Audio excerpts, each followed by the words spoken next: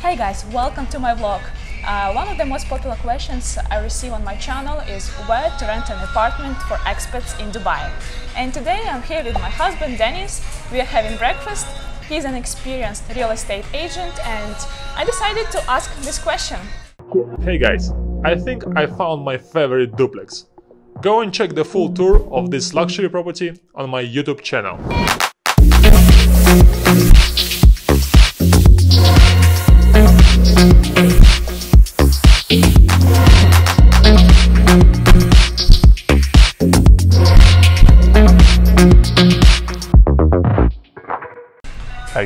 So, can you please tell us what are the best uh, areas to rent an apartment for expats?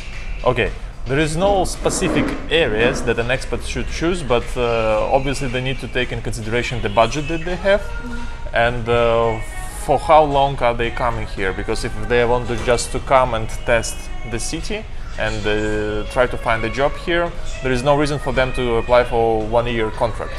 Yeah, uh, but the most like popular areas not the best areas for expat because uh, uh, each and everyone has their own specific requirements. But the most popular areas, um, for example, is Dubai Marina. It's very popular. It has a very good uh, connectivity to to the main roads. There is a metro, and uh, there is as well uh, like you can go to, the beach.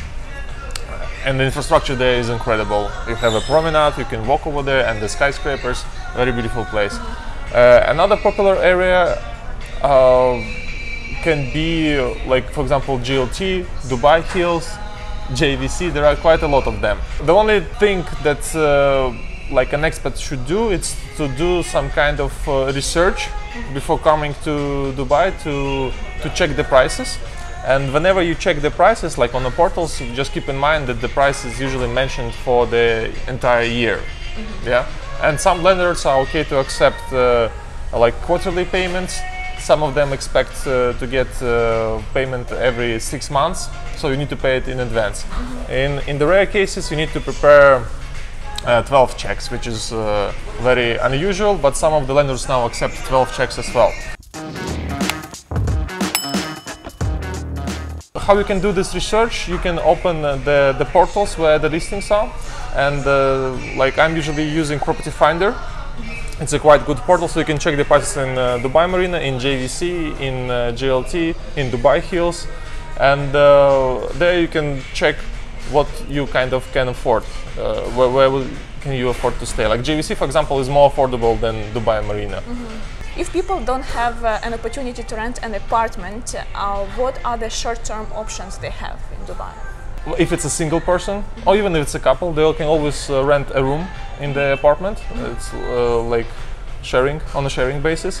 And uh, if you want to check this option, you need to go to the, to Dubizzle, and over there there are a lot of uh, listings, and you can pick and choose different areas and uh, uh, different projects as well.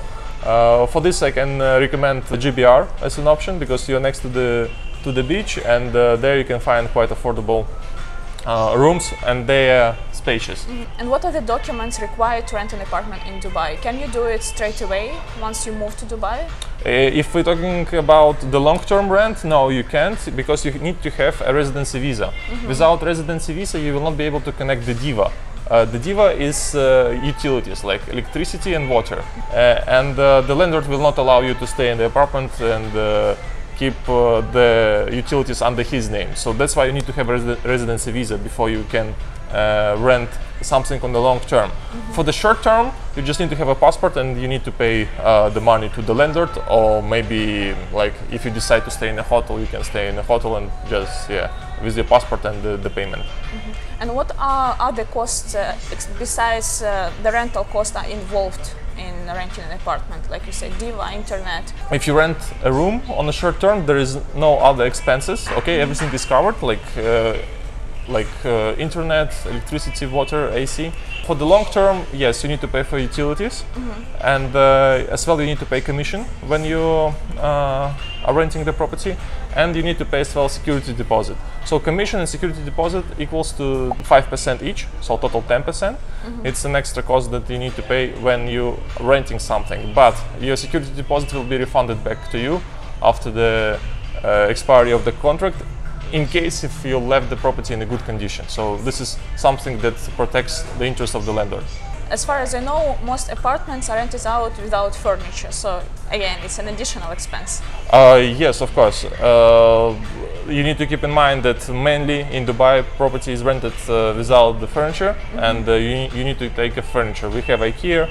It's quite affordable uh, furniture, and uh, yeah, here it's difficult to say how much you need to spend because it all comes to the special preferences of specific Yeah. people.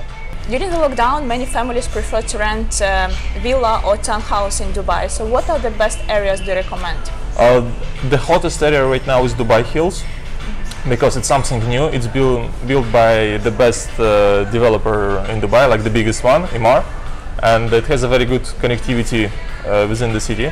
Uh, so Dubai Hills is um, like the main area where people are focusing now, but it's very difficult to get the townhouse at this moment. Uh, alternatively, there are a lot of options in um, so-called Dubai Land uh, area in Arabella, Casa Dora. There is a project in Shama, but it- they are a little bit further uh, from the main part of the city. Uh, so yeah, the main area, the best one is uh, Dubai Hills right now. So can you tell us, uh, please, uh, once again, what are the best portals, websites people can use to find an apartment? Mhm, yeah. So for the long-term rent, I'm usually using Property Finder. Uh, you can find the link in the description, I believe. Yeah, I will leave everything in the description. Uh, and uh, if if you're looking for the room for for the master bedroom, if you don't want to take entire apartment, uh, you can find listings on Dubizzle. There is a specific section for the rooms. Like uh, you can find the master bedroom, uh, regular room, all over the city, and uh, this is this is quite efficient for for people who are just coming here and uh, they need some time to, to to find something. Obviously, if they're single, if it's a family, maybe it's better to stay in a hotel. And for the hotel, you can check uh, Booking.com, and as well there are alternatives uh, for the long-term uh, stay uh, on Airbnb, and uh, this can be an option as well for people. Thank you very much. It was very useful. So guys, I will leave all the links in the description below. If you have any questions, ask them in the comments and see you in the next video. Bye bye. bye Here